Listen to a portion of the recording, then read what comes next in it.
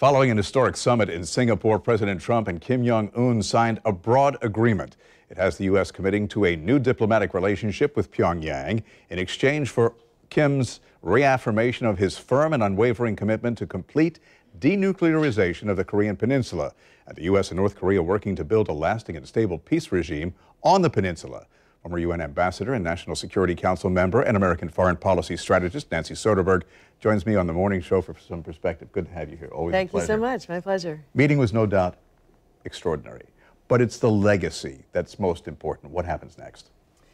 Short answer is we don't know. This is a new era of diplomacy with President Trump breaking all the rules. But six months ago, we were tweeting about who had a bigger nuclear button. And so having a summit to talk about how to denuclearize the Korean Peninsula is historic and a breakthrough. So it's a good thing. We don't know what's going to happen. There were no real details in this agreement that they signed.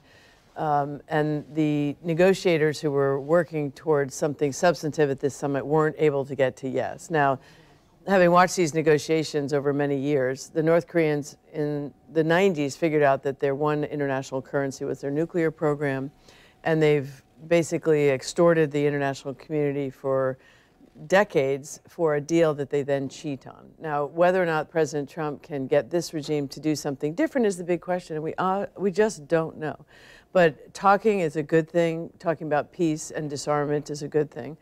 What the United States promised to do at this meeting was to suspend our exercises, which are provocative. I, I remember being in the White House in the same situation. The Pentagon has these on kind of rote um, pre-scheduled, and they don't bother to tell the White House. So in the middle of sensitive negotiations, they're out practicing war. So, um, you know, these types of things can be provocative, but you also don't want to give up something that's important to the South Koreans. Apparently, we didn't tell the South Koreans we were doing that. So there need, there's a lot of work yeah, still is. to come. Uh, the president says he trusts Kim, but Secretary of State Mike Pompeo basically said verification is key here.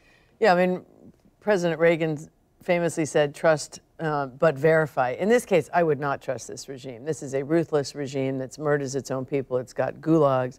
Uh, this is an individual who's bumped off his uncle and a half brother and shot with a cannon or something. So, you know, this is not someone I would trust.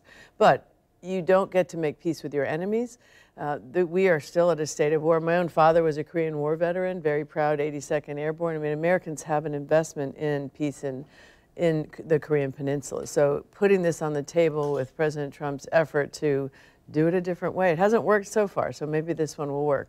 Um, most experts believe it's going to be a very long, hard slog to actually get Kim to do what he said he would do, which is fully denuclearize. But it's a good thing to have talking. I think we need to just now sit down and let the diplomats do the hard work. And President Trump will be back at this to try and push for a real deal, I am sure. After what happened with the G7, and the acrimony that exists, especially between Justin Trudeau and the president. Angela Merkel was not happy, neither was Emmanuel Macron. What do you think the world body politics going to take of this meeting? I think it's increasingly going to be a G6. And I think the United States doesn't need to pick a fight with these allies. Uh, we need these allies in promoting peace around the world and tackling the global challenges, which by definition we can't do alone. So uh, I think it's an unnecessary spat, and I think we need to get past it and get down to the hard work of negotiating the global problems uh, together.